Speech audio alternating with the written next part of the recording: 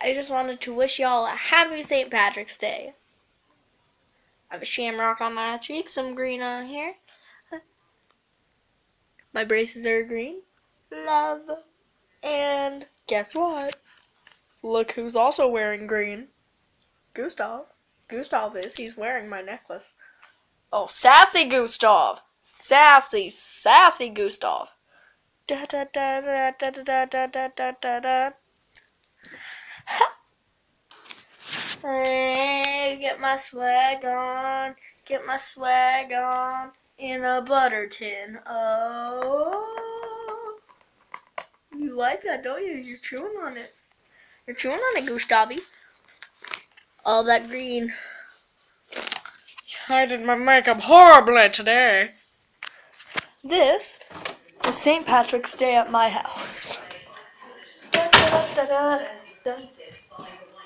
This is mom.